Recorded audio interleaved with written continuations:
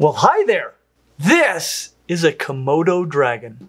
And this is a tegu, which is not very closely related to Komodo dragons at all. But this is. And so is this. And so is this. Heck, even this is pretty closely related to the Komodo dragon. They are all members of the clade Anguimorpha, which includes the Komodo dragon and its closest relatives. And just for the record, even chameleons and snakes are more closely related to monitor lizards than Gus Gus here. But I would say that more people identify him as being a Komodo dragon than what he actually is.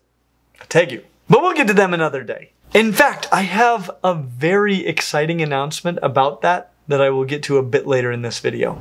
Today's video is sponsored by Ridge. It turns out that arthropods aren't the only things that have a hard, durable exterior to protect what is really valuable within. There's also the Ridge wallet! Without spending a dollar, you can earn a free entry just by visiting their website, ridge.com, and click enter now for the chance to win the Hennessey Velociraptor Ford Bronco, which is the coolest Ford Bronco I've ever seen. And all of these Ford Broncos are stinking rad. Or if you're not so into unbelievably, ridiculously amazing cars, how's $75,000 in cash sound to you? If you're into that kind of thing. But I should mention that in addition to your one free entry, you can get an additional entry for every dollar you spend on the site, ridge.com, and custom Hennessey products like this Hennessey Ridge wallet or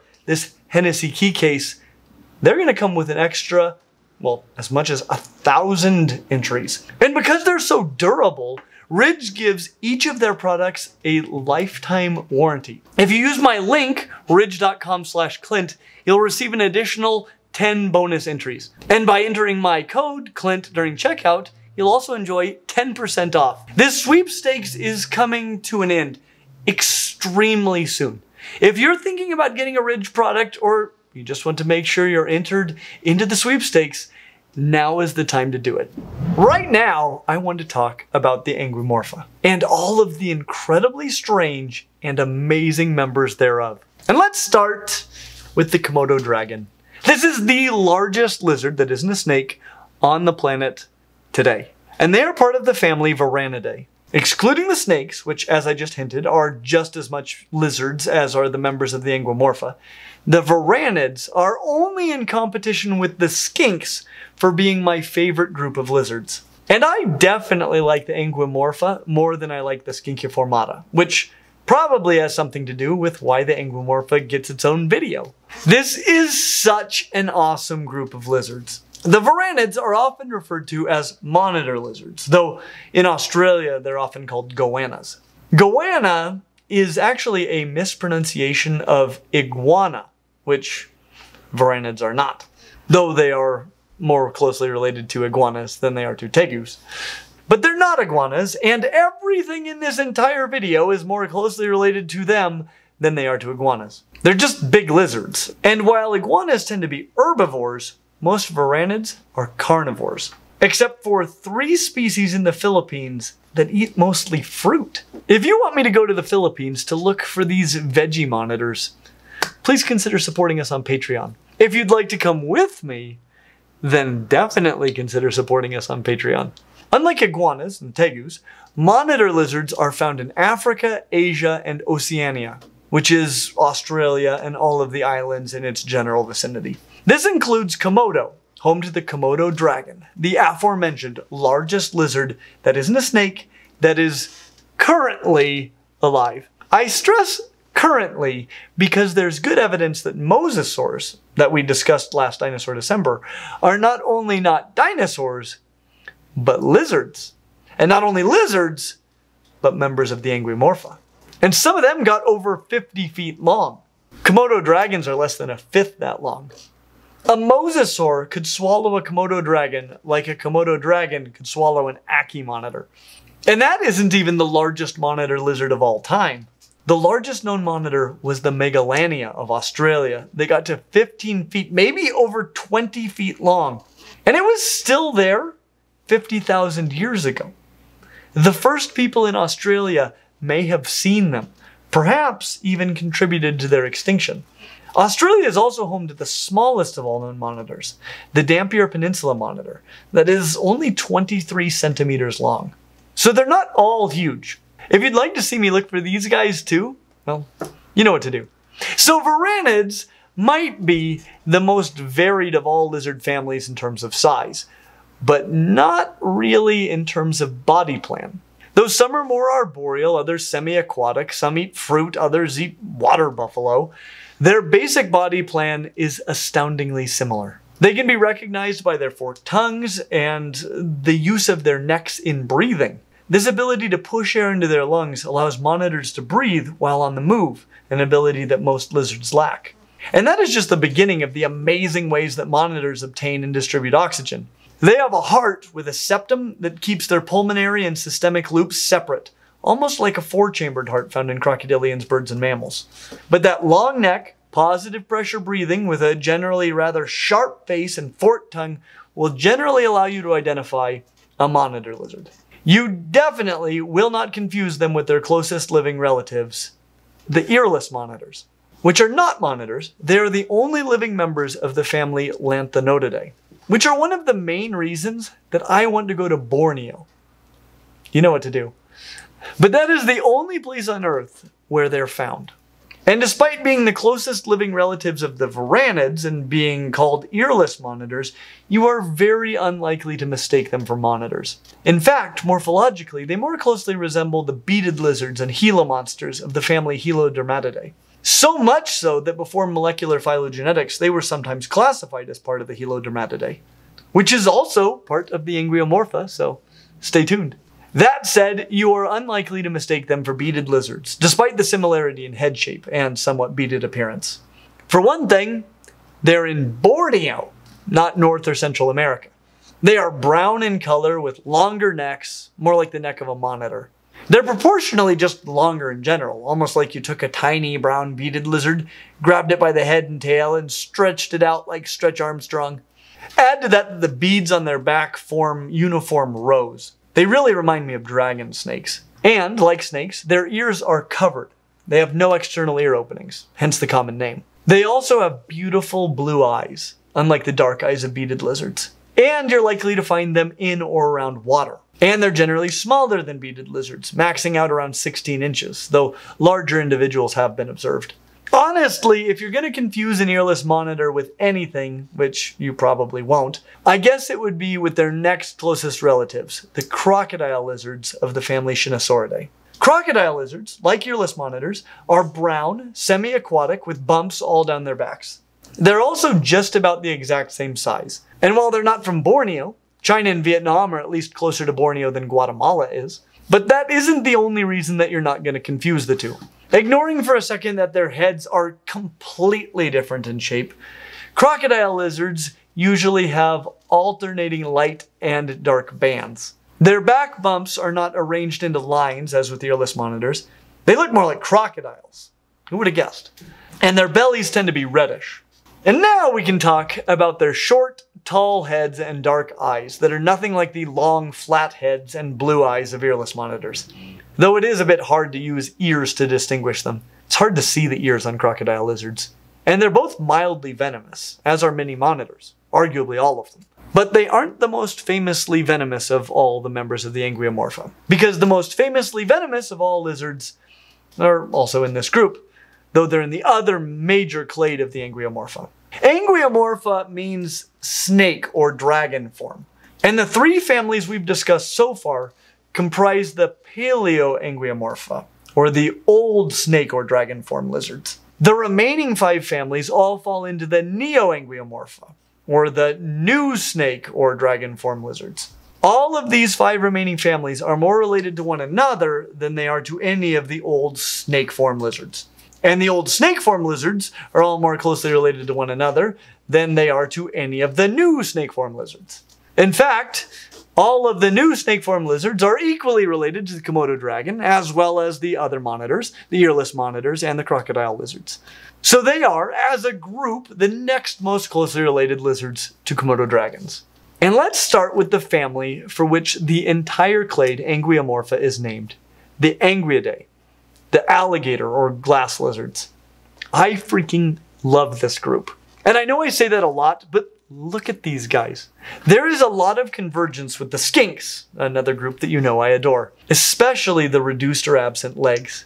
And one of the two subfamilies, the Anguinae, are legless, so they could be mistaken for snakes, hence the name. My Sheltopusiks are proud members of this subfamily, and people mistake them for snakes all the time. Even when I tell them that they're not snakes, they generally want me to explain why not, and I'm very happy to do so. They aren't. They have almost none of the defining features of snakes, but they do have all of the defining features of the Anguidae, including osteoderms and a lateral fold, among other less conspicuous features. The bony osteoderms under the skin give them an armored feeling, as it's armor. These feel nothing like snakes or skinks. And that lateral fold allows the body to expand when they eat or breathe, which is difficult if you are armored. These guys are found all over the Northern Hemisphere, and they probably need more representation here in Clint's Reptile Room. However, if you find a similar lizard in California or Baja California, then you might need to look a bit closer because it could be one of their closest relatives, the family Anniellidae, known as the American legless lizards. I don't love this name though because there are other American legless lizards. These seem to be totally restricted to places with California in their names. So I would call these California legless lizards. Though there are other legless lizards in California, such as, well, snakes. And like snakes, their ears seem to be covered. But unlike snakes, they blink. They also lack most of the other snake features. To differentiate them from glass lizards, note the lack of a lateral fold as well as the osteoderms. It is my understanding that they are very soft to the touch, though I've never touched one myself. Maybe I need to herp California, possibly with Brian Kusko. If you'd like to see that happen, you know what to do. But other things that you can look for to distinguish them from glass lizards are their blunt tails, and while glass lizards have somewhat intense faces, these guys have some serious derp. At least that's what they call it in the literature. But isn't that a derpy face? I love it. I want to see one. Brian, can you help me find these? And may I suggest that maybe instead of just calling them California legless lizards, we call them California derp-faced lizards? Because, I mean, look at that face. Now I have to say that this next family just put the Anguiomorpha over the top in my book. These were long thought to be part of the Anguidae, but molecular analysis revealed that they are not as closely related to the anguids as they are to, to the anniellids. So they clearly were not. They're part of their own group, the family Diploglossidae, more commonly known as galliwasps. I honestly have only known about these guys for a few years, possibly because they were just swallowed up among the anguids. But since the very first time I saw a picture of one, I have been in love with galliwasps. And they're almost all found in Hispaniola, aka Haiti and the Dominican Republic, though there are some species on other Caribbean islands and Central and South America. And they are gorgeous. Most look like skinks, and one is legless, like most snakes, but it isn't the same one that has no external ear opening, like a snake, though there is one that has no external ear opening, like snakes. And many of them are very colorful. I don't think that they have lateral folds like alligator lizards. They really do look like skinks. And some of them get pretty big, like almost as big as blue tongues. But again, they're not skinks. They're more closely related to Komodo dragons than they are to skinks. In fact, of all lizards, including snakes and amphisbaenids, only the dibamid lizards and the geckos are less closely related to galliwasps than are skinks. And those guys are basically the hagfish of lizards. But if you had doubts about the Anguimorpha being the coolest group of non-snake lizards because it doesn't include skinks, well, it has the next best thing. And Komodo dragons. And two more families that are absolutely incredible. But before we get there, I want to tell you my exciting news. I have been loving making these phylogeny videos. I love it. And it has made me so happy that you guys seem to be enjoying them as well. We have already discussed every single family of gecko. At the end of this video, all the Anguimorpha, as well as all of the snakes. That is a large percentage of all of the lizards. Heck, it's a large percentage of all of the lepidosaurs, which are all of the reptiles except for the turtles, which we have covered, the crocodilians, which we have covered, and the birds, which we have only began to cover. And I have decided that in 2024, along with many other phylogenies, we are going to finish up the Lepidosaurs and then release a single video, more like a movie really, walking us through the phylogeny of all extant Lepidosaurs. This is one of the biggest undertakings in Clint's Reptiles history. So thank you so much for your support in this journey, especially to our rad fans and stinking rad fans at Patreon that have allowed us to increase our capabilities so that we could make this happen. We couldn't be doing this without you. If you want to help us create this ultimate guide to every family of Lepidosaur, as well as other projects that might be even bigger still, well, you know what to do. But for now, let's get back to those last two families and what may very well be the coolest clade of non-snake lizards on the entire planet. The three families that we have discussed so far in the Neoanguimorpha are all more closely related to one another than they are to the two remaining families. But their next closest relatives are the family Xenosauridae, the knob-scaled lizards of Mexico. Knob-scaled lizards can easily be identified by that crazy look they generally seem to have in their eyes, but also by their round, knob-like scales. Their heads remind me a bit of Abronia alligator lizards or perhaps of leopard lizards. But those big knobby scales and that wild look in their often orange eyes definitely sets them apart. Though while we're on the subject of knobby scales, let's talk about the last family in the Anguimorpha the most distantly related member of the Neoanguimorpha, but the most notoriously venomous lizard in the entire world.